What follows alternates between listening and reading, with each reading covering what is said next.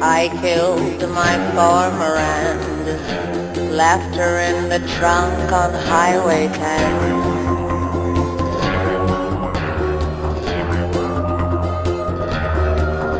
Put the knife under the hood. If you find it, send it straight to Hollywood.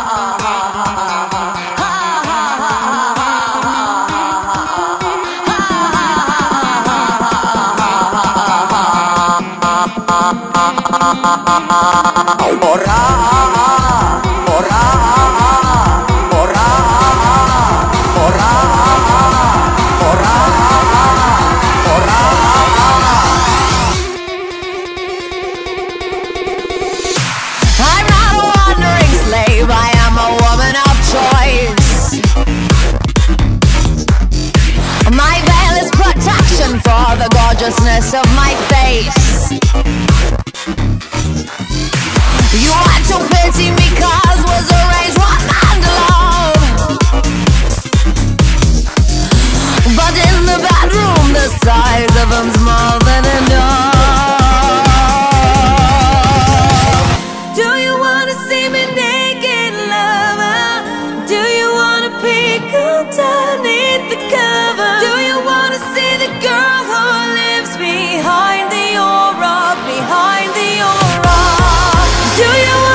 because we go